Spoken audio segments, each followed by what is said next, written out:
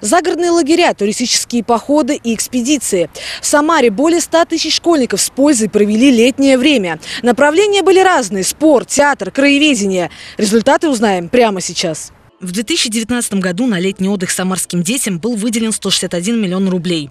Работало 7 оздоровительных лагерей, 45 профильных смен. В августе в лагере «Юность» отдохнули 60 детей, оказавшихся в трудной жизненной ситуации. Работали палаточные лагеря, они находились под особым контролем у Департамента образования. Для детей, которые предпочли остаться дома, по всему городу работали 110 праздничных площадок. На них провели время около 26 тысяч детей. 900 школьников во время летних каникул занимались футболом, баскетболом, легкой атлетикой и велоспортом. Еще столько же ходили в организованные походы и экспедиции. 504 подростка приняли участие в международных проектах и побывали в Тайване, Израиле, Абхазии, а также в разных городах России.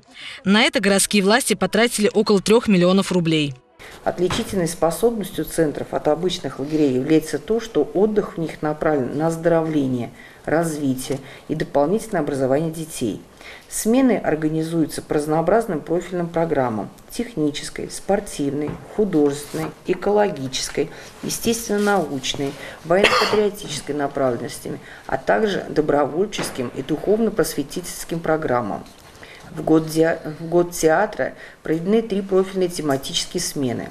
В настоящее время завершает работу конкурсная комиссия, которая определит победителей среди организаторов профильных смен. Осенью в некоторых лагерях Самары проведут ремонт. На эти цели выделено 29 миллионов рублей. Преображение ждет Арго, Салю-2, Зарю. Там сделают спортивную площадку. А в юности планируют отремонтировать спальный корпус. Валерия Куценко, Николай Сидоров. События.